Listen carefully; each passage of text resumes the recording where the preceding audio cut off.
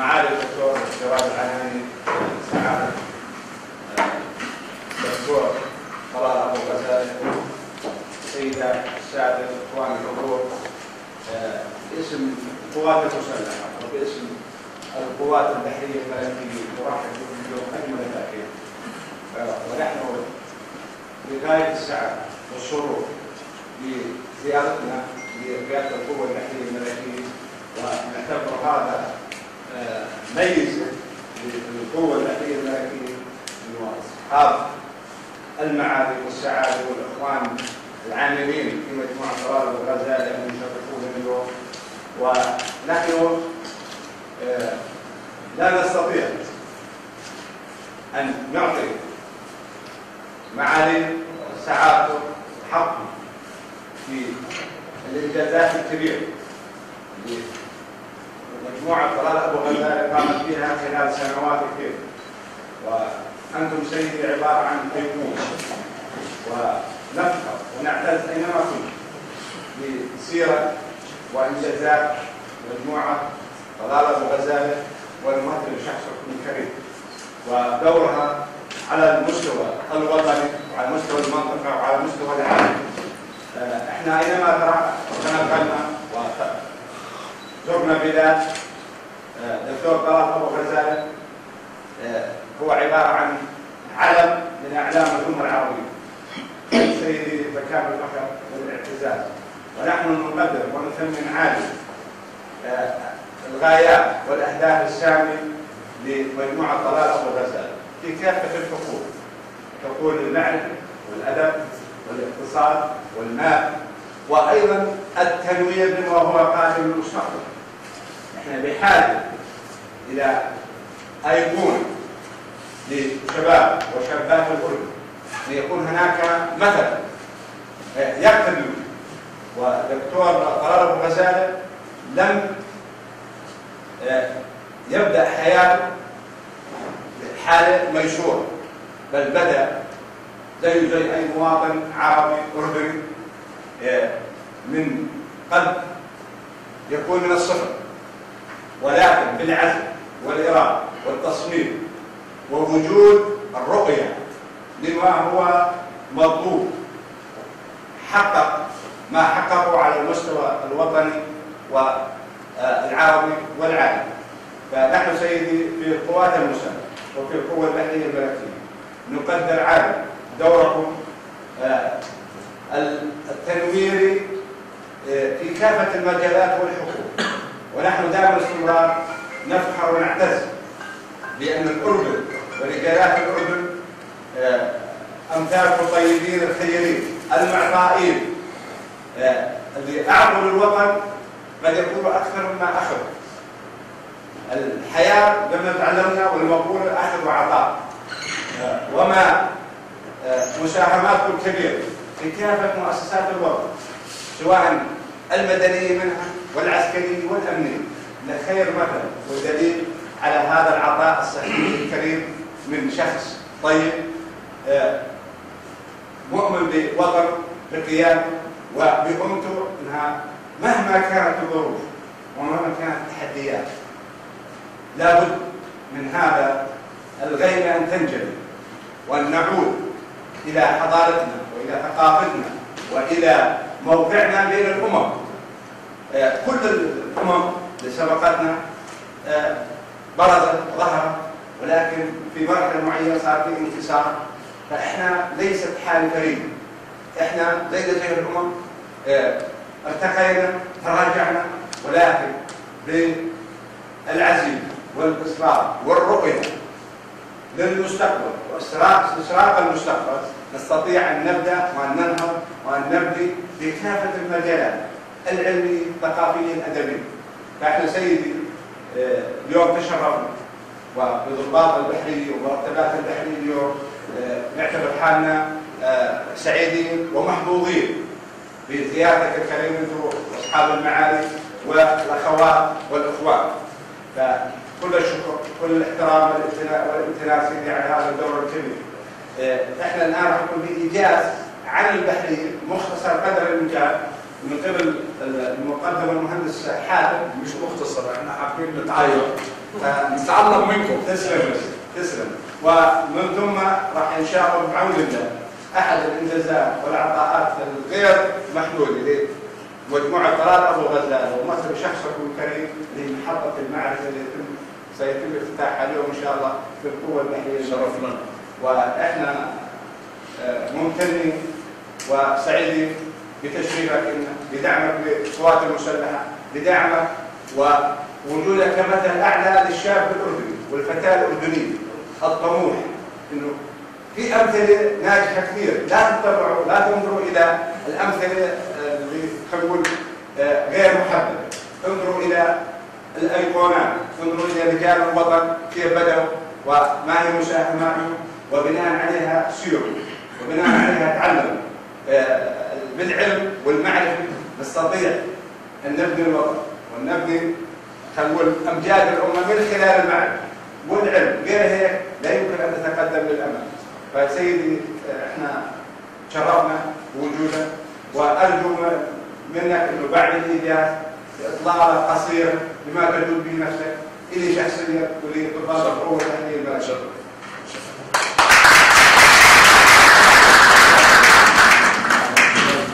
يزيد والله بعد اللغة والبلاغة ابدا. بسم الله الرحمن الرحيم. بنرحب بضيوف الكرام سعادة الدكتور طلال الغزاله معالي الدكتور جواد العناني السيدات والسادة. شرفتونا. أهلا وسهلا في قيادة القوى البحريه الملكيه. نحن ناخذ نبذه تاريخية عن منطقة المسؤولية واجباتنا بشكل مختصر وسريع. حتى نتعرف على قيادة القوى البحرية الملكية وواجباتها.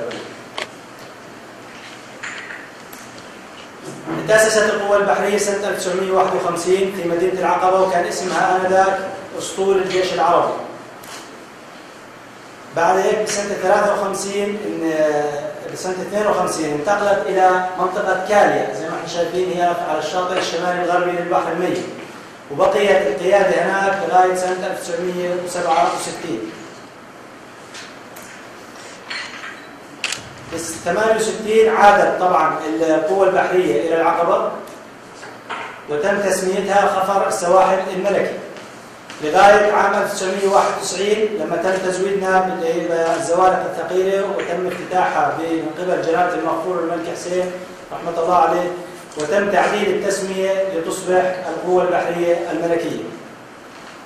طبعا مرت خلال السنوات هاي بعدة مفاصل منها بناء القاعدة اللي إحنا فيها حاليا. هذه تمت البدء بالمشروع من 2003 وانتهى ب 2006 كانت الكلفة تقريبا حوالي 50 مليون دينار. يعني هي من أحدث القواعد البحرية في المنطقة. وعندنا رصيف بحري قادر على اتساع أكبر أنواع السفن البحرية يعني لغايه حامل الطائرات ممكن تصطف عندها هون في عام 2009 بمكرمة ملكية وبإرادة ملكية سامية تم تشكيل كتيبة المشاة البحرية 77 وهي راح تكون يعني هي المارينز بمسمى آخر وهي راح تكون الذراع البري لتعزز الأمن في مدينة العقبة. من عام 2014 تم التأسيس واستلام معدات لمركز العمليات البحري ال naval operation center. هذا المركز شايفين على السلايد كم اللي الرادارات الكاميرات المنتشرة على طول الساحل اللي مكنتنا من السيطرة التامة خلينا نقول 110% على مياهنا الإقليمية في منطقة خليج العقبة.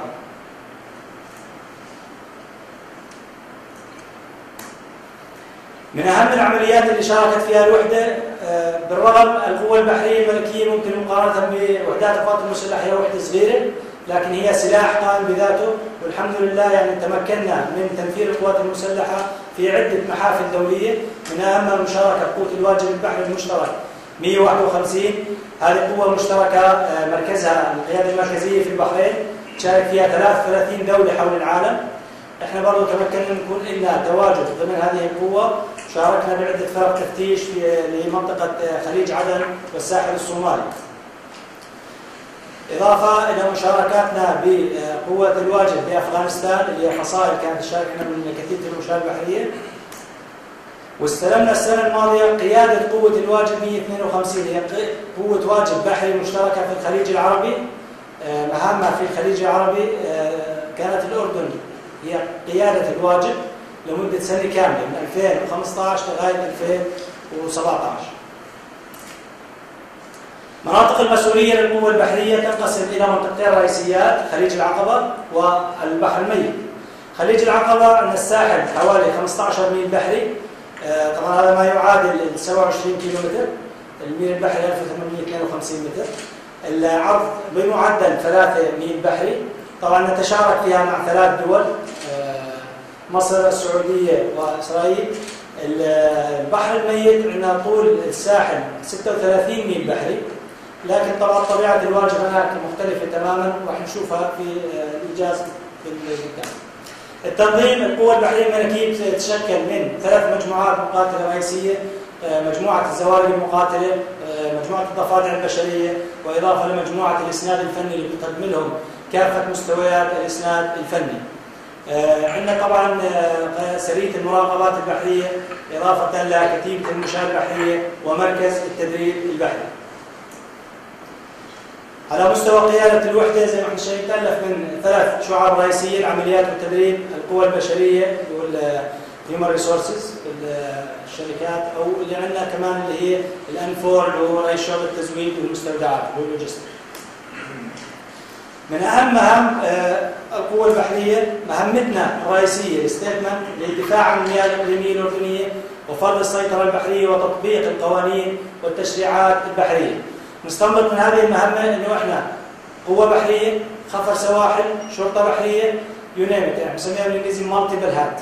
الدول الكبيرة اللي عندها سواحل بيكون عندها أكثر من جهاز على على مستويات مختلفة، إحنا هون بنمثل جميع هذه الجهات في البحر.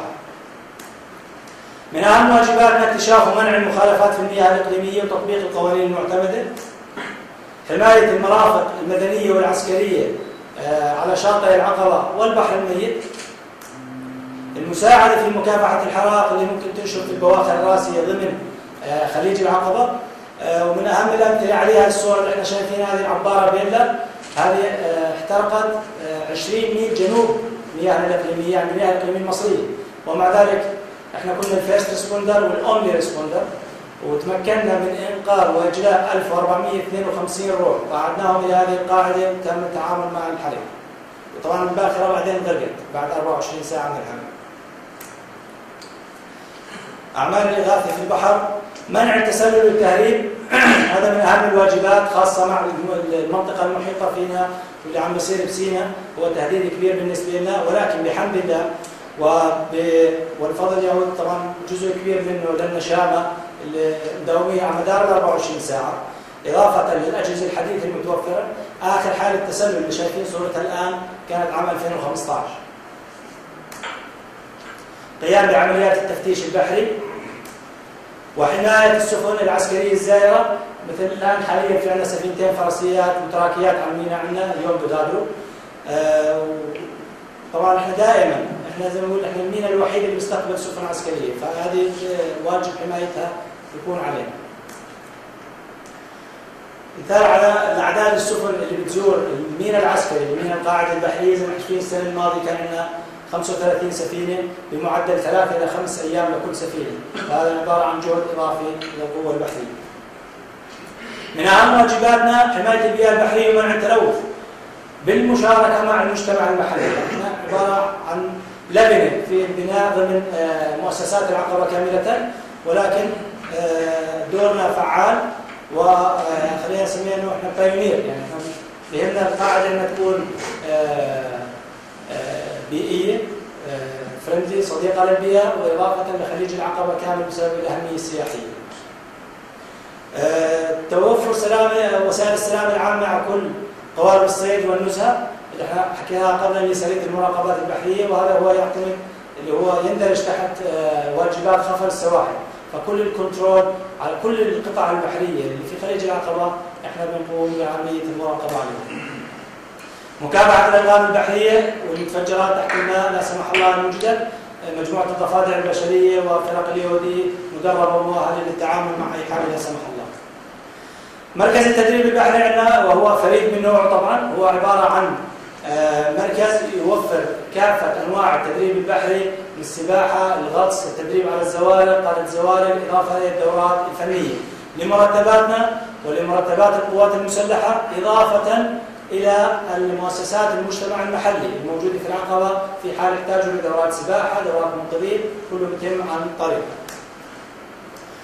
نشوف بس نظرة سريعة على المشاريع الضخمة اللي موجودة في منطقة العقبة من أهمها اللي هو ال Red conduit زي ما بنعرف البحر الميت مستوى ال level تبعه في تناقص مستمر.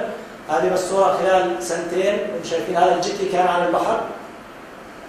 فمستوى النزول فالآن جاء مشروع قناة البحرين الآن آه، يعني بلش الشغل فيه. اللي هو نقل مياه خليج العقبة إلى البحر الميت للمحافظة على مستواه طبعا هذا راح يشكل برضه عبارة عن واجب إضافي للقوة البحرية. لحماية ال installations راح تصير على شاطئ العقبة. الأكبر main port بنعرف زي ما بنعرف الميناء الرئيسي الآن سيتم نقله مع نهاية شهر أيار إن شاء الله راح ينتقل كله إلى الموانئ الجديدة اللي جنوب من القاعدة البحرية راح يكون fully operational مع نهاية أيار إن شاء الله. فجميع الموانئ الآن راح تكون في الميناء الجنوبي. زي ما إحنا شايفين ال layout لكافة الموانئ الآن كلياتها من الجنوب من موانئ الغاز والغاز المسال للموانئ الصناعية لل multi-purpose كلياتها راح تكون package آه، كامل موجود على المنطقة الجنوبية من الشاطئ خليج العقبه. مرسى زايد من أكبر المشاريع السياحية آه، طبعا هو راح يعمل ريبليسمنت لموقع الميناء الحالي راح يكون عبارة عن ميناء سياحي إضافة إلى المشاريع السياحية والإسكانية ضمن المشروع. واحد ايلا برضه من أكبر المشاريع الموجودة وهي طبعا زادت نسبة المسطح المائي في خليج العقبة 3% البرك اللي عملوها والمارين. كتيبة المشاة زي ما قلنا كتيبة المشاة أصبحت ذراع رافد للقوة البحرية الملكية لتنفيذ وحفظ الأمن والأمان في منطقة العقبة. من أهم واجباتها زي ما إحنا شايفين إحنا نمسك إحنا كبحرية إحنا نشتغل في البحر فكتيبة المشاة الآن هي مساعد لنا على الشاطئ حتى تساعدنا في حفظ آه، أمن خليج العقبة.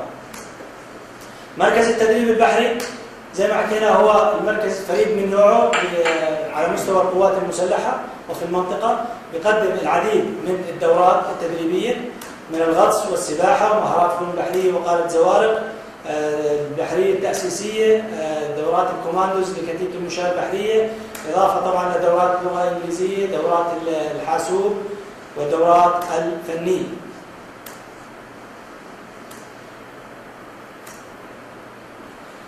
تلعب القوة البحرية الملكية دور كبير في المجتمع المحلي ضمن آه، منطقة العقبة الاقتصادية الخاصة وخليج العقبة بشكل رئيسي.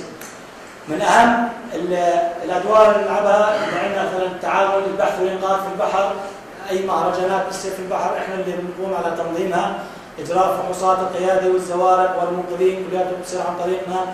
آه، حماية الأرواح والطوارئ في البحر برضه مسؤوليتنا.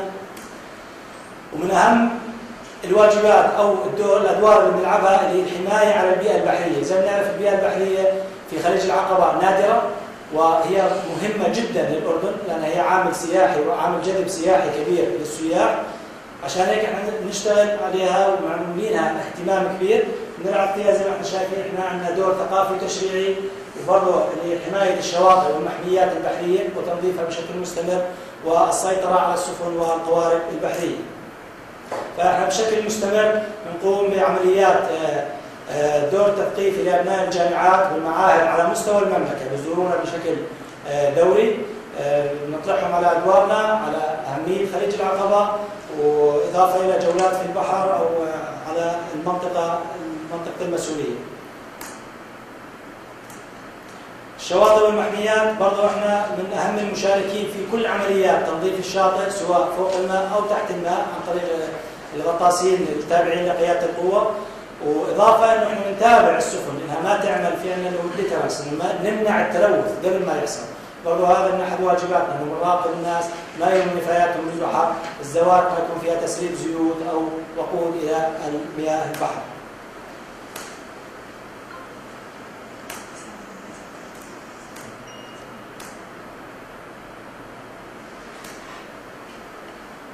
هيك سيدي نهاية الإيجاز وبتشرفنا سعادتك بكلمة إذا سمحت.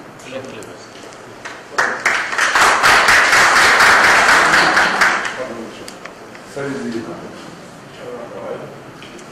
سيدي فنان باشا عماد شرف كبير ان أن يكون لي هذا المكان وهذا الموقف الذي أفخر به اليوم لأني في مكان خاص في قلبي للقوات المسلحه هذا الايجاز يا ريت أن يصبح ثقافه في كل لكل إنسان مثل ما تثقفت أنا اليوم بدور القوات المسلحة اللي هو كثير أكثر من الدور العسكري. المعروف آه، إنه القوات المسلحة عسكر لحماية الوطن؟ وهذا مهم جدا جدا. والدفاع عنا والادوار العسكرية الهامة والكبيرة. بس إحنا سمعنا اليوم دور اقتصادي دور اجتماعي دور بيئي دور تثقيفي آه، فإذا آه، هذه المؤسسة هي مؤسسة وليست فقط قوات عسكرية هي مؤسسة متكاملة في دورها في خدمة المجتمع وفي كل المسارات.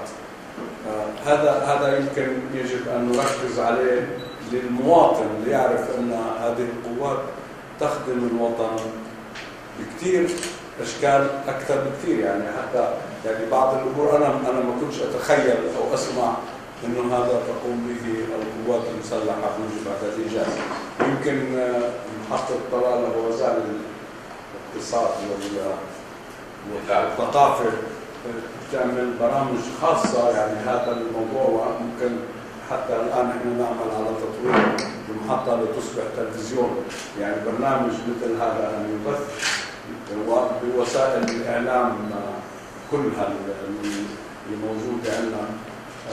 مش لأنه دعاية للقوات المسلحة مش محتاج القوات المسلحة. بس لكي يعرف المواطن دور هذه المؤسسة العظيمة. أنا أفخر بعلاقتي مع القوات المسلحة وإحنا نقول بكل اعتزاز إنه ربما نحن المؤسسة الوحيدة التي وقعت اتفاق تعاون ثقافي وعلمي في هذا الوطن مع القوات المسلحة كمؤسسة خاصة.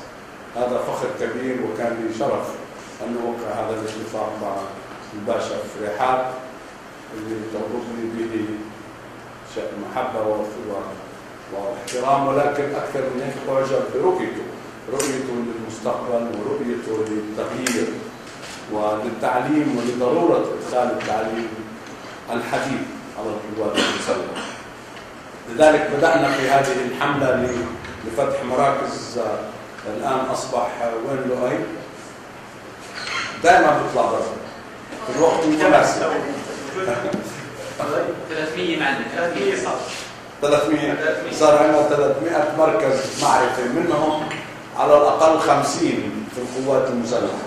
50 مركز و150 في آه، المناطق الأخرى من المجتمع من جامعات من آه، جمعيات آه، إلى آخره. ولكن هذه المراكز هدف هدف منها ثلاث أشياء.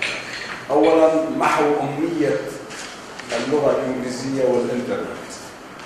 وهذا قرار اتخذ في قمة عربية من سنتين بأن يكون هذا العقد هذه العشر سنوات عقد محو الأمية من لا يتقن استعمال الكمبيوتر واللغة الإنجليزية هو أمي بمفهوم القادة وبمفهوم آه، اللجنة الفريق اللي شكل من القادة واللي نحن كمجموعة طلال وزارة أعضاء في هذا الفريق بالإضافة إلى الحكومات العربية ووزارة ممثلة بوزارات التعليم. ونحن صرنا بهذا الفريق بهذا المشروع آه، برنامج لتعليم اللغة الإنجليزية للحصول على شهادة كامبريدج في اللغة الإنجليزية. مش ممكن ومش مقبول أن يكون أي مواطن مش اي أي مواطن لا يستطيع أن يتعامل باللغة الإنجليزية تجيك إشارة إنجليزية رسالة إنجليزية نداء إنجليزي ما بنقدرش نستنى نجيب مترجم. ضروري أن نتقن اللغة الإنجليزية والشهادة هذه من يحصل عليها وهي شهادة بسيطة هي basic أساسية في منها ست رتب إحنا بس عم نقول الرتبة الأولى اللي هي المعرفة الأساسية للغة يحصل على شهادة من جامعة كامبريدج البريطانية باعتبارنا نحن مركز الامتحان المعتمد لهذه الشهادة. الموضوع الثاني هو استعمال الكمبيوتر. لغة التخاطب الآن هي بلغة الإنترنت. لم يعد لغه التخاطب بأي أسلوب آخر. أصبحت الدنيا أساس التعامل فيها هو هذا المحيط اللي اسمه الإنترنت. واللي أنا كان لي الشرف بان ارأس فريق الأمم المتحدة الذي وضع سياسة تقنية المعلومات والاتصالات على مستوى العالم. فريق أنا كنت رئيس ال UN ICT Task Force عام 2001 ووضعنا استراتيجية الحديثة لثوره المعرفة. الآن سننتقل إلى ثوره جديدة. هذا الآن ما أريد أن أقوله إحنا نريد السلاح الأساسي اللي هو المعرفة الرقمية والمعرفة اللغوية الإنجليزية لأننا مقبلين على عالم مختلف عن العالم اللي نعيشه اليوم. الدول والعالم متجه من الدولة المدنية إلى الدولة الإبداعية. الإبداع سيصبح هو واجب الدولة مش تدير شؤون المجتمع ولا تعمل أي قرارات حكومية يعني الحكومة الحكومة دورها أن تخلق بيئة إبداع لكل إنسان. من هنا جاء قرار رئيس الهيئة المشتركة للأركان للقوات المسلحة بأن ينشئ معنا مجلس أتشرف برئاسته مجلس المشترك بين القوات المسلحة وزارة المجلس المشترك للإبداع. الآن أنشأنا هذا المجلس وهو فيه كفاءات من القوات ومن مؤسستنا لنعمل سويا لكيفية خلق حاضنة للاختراعات للقوات المسلحة. القوات المسلحة في دول العالم هي المصدر الأساسي للاختراعات في أمريكا. الإنترنت نفسه اختراع عسكري. قامت به القوات المسلحة والمخابرات الأمريكية وزارة الدفاع. أساسا وزارة الدفاع الأمريكية هي وهي ما زالت. وزارة الدفاع هي التي تملك الإنترنت. يمكن كثير من الناس ما بتعرف أن الإنترنت هو طبعا مملوك لأمريكا ولكن مملوك لوزارة الدفاع في أمريكا. وفوضت وزارة التجارة بعمل اتفاقيات لإدارة الإنترنت. ولكن الملكية هي لوزارة الدفاع. الإنترنت شيء نظام تملكه وزارة الدفاع اللي هو الأساس للمعرفة وأساس الثورة المعرفية اللي إحنا بدأناها الآن والتي ستنتقل لتصبح تغير كل شيء في حياتنا. أو أنا أقول أننا يجب أن نفكر بأن نحل كل مشاكلنا مش اختراع مني هذا. هذا الواقع. كل مشاكلنا الاقتصادية الاجتماعية البطالة العجز في الميزانية كل كل ما عندنا من مشاكل تحل بأن يصبح هذا الوطن مجتمع معرفي وبما أن أحسن مدرسة في كل الدنيا هي المدرسة العسكرية الانضباط اللي عندكم الاحترام للأنظمة والقوانين التنفيذ مش بس كلام إحنا في مجتمعنا غير العسكري كثير حكي. وتنفيذ كثير مرات قليل. العسكريين برفع لهم كل احترام لأنهم ينفذ وكلمة أمر كثير حلوة. أمر أمر عسكري. شو في أحلى من هيك؟ أن يصدر أمر وأن ننفذ هذا هذه الدنيا العسكرية. هي مدرسة لثقافة النظام والإنجاز والإنتاج. المجتمع الذي نتكلم عنه مجتمع يعمل كل ما فيه بالإنترنت كما الجهاز العصبي في جسم الإنسان. يعني أنا بقارن الإنترنت في حياتنا بالجهاز العصبي في جسمي. أنا عندي عينين بس ما بتشتغل لو لو الجهاز العصبي ميت ما بتشتغل. إيدي ما بتتحرك إلا بقوة الجهاز العصبي. فالجهاز العصبي في الحياة البشر هو الإنترنت. كما الجهاز العصبي في جسم الإنسان. هذا المستقبل. نقدر نبحث حلو مش حلو جيد مش جيد. أوكي خلي الشعراء يجتمعوا ويبحثوا إذا الجن انوث ولا ولا ذكور. ما فيش منه جدوى ولكن الحقيقة أن العالم متجه لهذا التوجه حيث أن الأدوات والإنسان سيصبحوا مجتمع واحد. يعني أنا سأتعامل مع هذا الكمبيوتر في حياتي العملية مش أنا الشباب أنتم لأنه أنا صار عمري 80 سنة وأنا كل يوم الصبح بشكر الله إني لسه أعطاني يوم جديد بونص في عمري. فأنتم كشباب حيث يوم هذا تتعاملوا معه أكثر ما تتعاملوا مع بعض وأكثر ما تتعاملوا مع أهلكم. كويس كويس موضوع آخر يعني حتى مرة كنت عم بلقي محاضرة عن هذا الموضوع وكيف أن الجامعات راح يلتغي الكامبس فيها راح يلتغي الصفوف كله راح يصير في عالم الفضاء التعلم. سيدة قالت لي انت خرب بيتنا إحنا كنا نروح على الجامعة حتى نلاقي عريس المستقبل. بدنا نلاقيها بدون كامبس قلت لها لا بالعكس أنا عم بخدمك انت هلا عندك مجموعة صغيرة من الأردنيين. لما بتدخلي في الفضاء عندك الأسترالي الحليوة الطويل عندك الإنجليزي الأشقر عندك الأمريكاني. عندك كل الأنواع البشر نقي على كيفك. هذا هذا المستقبل. وأحد أدوات هذا التحول هو ما يسمى الذكاء الاصطناعي. لذلك إحنا أنجزنا في مجموعتنا الآن الترتيبات لإنشاء كلية عن دراسات المستقبل. وأحدها جوانبها الأساسية وربما يكون الجانب الأساسي الذي سيغير العالم هو الذكاء الاصطناعي. الذكاء الاصطناعي ليس فقط تحويل الأجهزة لتصبح ذكية كالإنسان مثل الروبوت مثلا أو مثل الاشياء اللي بنشوفها البسيطه السنسور إنه السيارة لما بترجع قبل ما تقرب على الحيط بتصير تعطيك إشارة. هذا هذا ذكاء. اصطناعي في السيارة عندها ذكاء إحنا ركبناه فيها. سيأتي يوم هذا الذكاء سيصبح فيه قدرة للتطوير الذاتي. ولذلك في فريق في جامعة كامبريدج الآن يرأس مشروع اسمه Terminator ليمنع يوم اللي يصبح فيه ال robots قادرون أن يسيطروا على العالم. لأنه أنت بتعطيه ذكاء اصطناعي. هذا الذكاء الاصطناعي اللي أعطتني إياه أنا كماكينة سيعطيني قدرة أن أطور نفسي وأطور ذكائي. ويصبح الجهاز سلاح مثلا اللي إحنا بنسميه سمارت ويبن يصبح ذكاؤه قوي ليقرر هو متى يطلق. مش مثل ما أنت برمجته وهذا قابل مش يعني مش عم نحكي خيال الذكاء الاصطناعي وإحنا عندي دائما بستعمل نموذج هذا الرجل.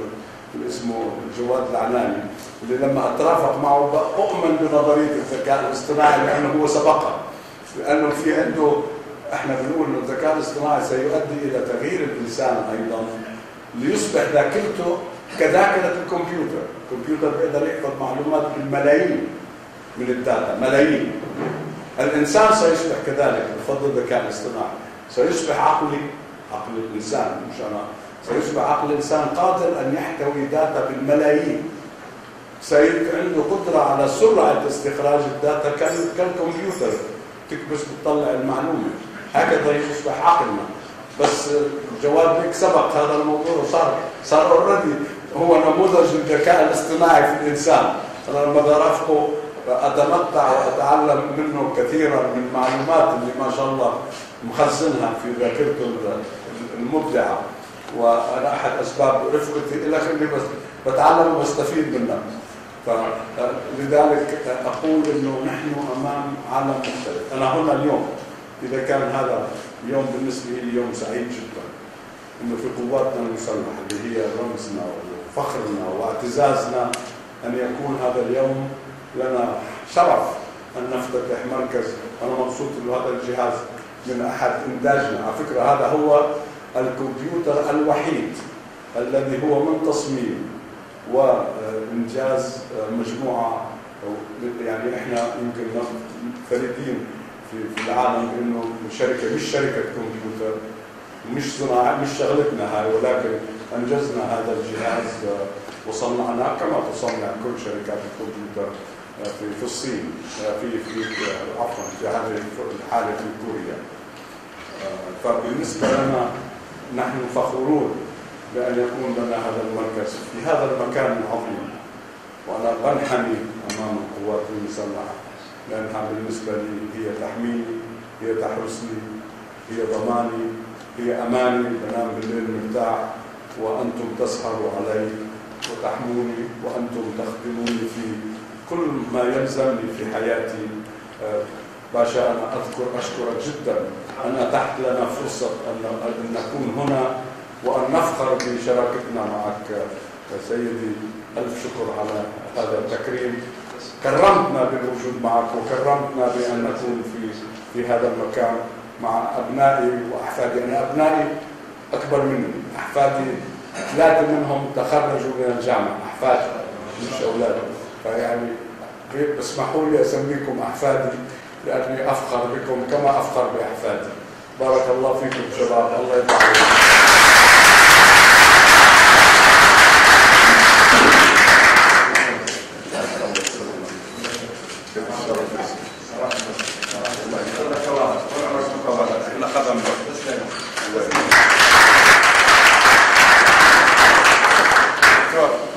شكرا يا سيدي. بارك الله سيدي أيضا اسمح لي ان أقدر على مع كل الشكر معظمها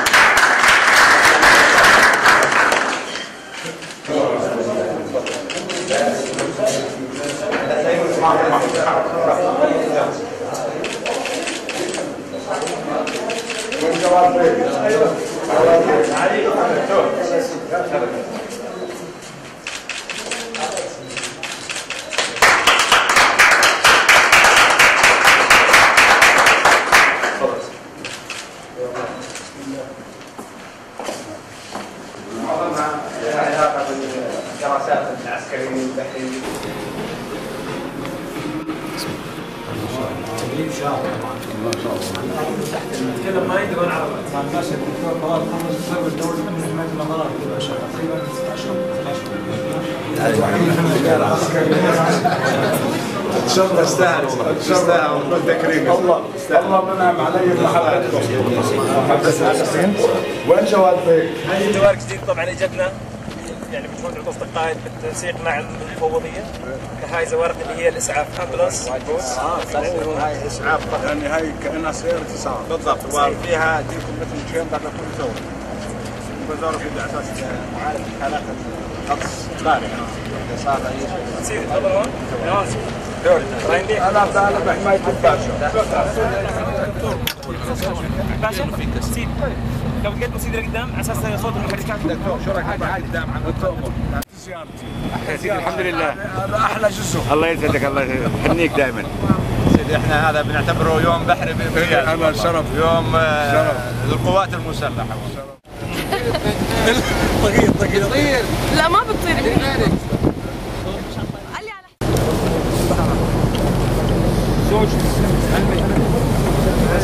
حماد حماد بنتك كويس صحتها حماد بنتك